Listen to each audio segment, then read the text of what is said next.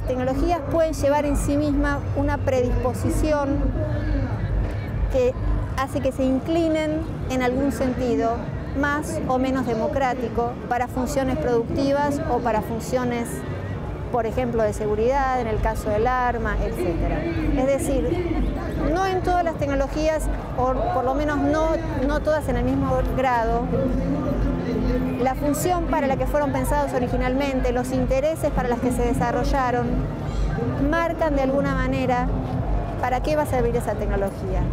Hay una segunda etapa que tiene que ver con las políticas de implementación de las tecnologías. Argentina es un país que desarrolla algunas tecnologías y que también adapta e incorpora muchas tecnologías. En relación con las que desarrollamos, obviamente las políticas están desde el comienzo.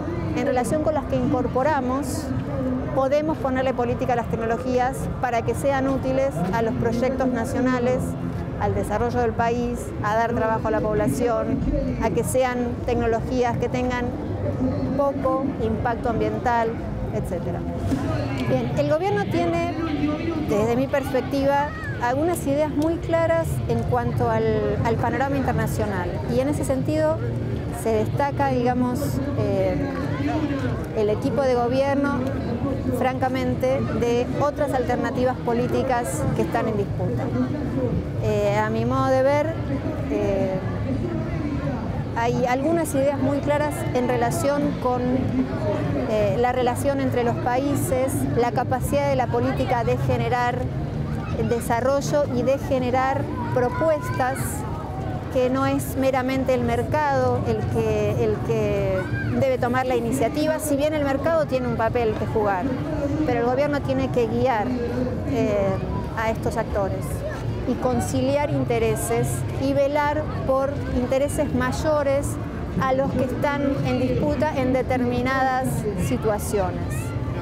Y en ese sentido yo creo que eh, estamos en un momento auspicioso en relación con eh, la búsqueda de un desarrollo que ciertamente no es fácil conciliar desarrollo y cuidado del ambiente, pero que estamos en un momento auspicioso para poder hacerlo, porque además hay un espacio de discusión abierto eh, y no tenemos que tener miedo a la discusión. No es fácil ponerse de acuerdo. Cuando hay proyectos que colisionen entre sí, cuando hay intereses contrapuestos, no tenemos que tener temor a la discusión y a veces a la discusión un poco encendida. Ciertamente a partir de la discusión pueden surgir alternativas y formas de negociación que logren una mejor solución a la problemática que se está discutiendo. Tecnópolis en general me parece una iniciativa para celebrar, para disfrutar, la muestra me parece muy divertida, la charla fue muy participativa. Tecnópolis es decir presente mirando al futuro.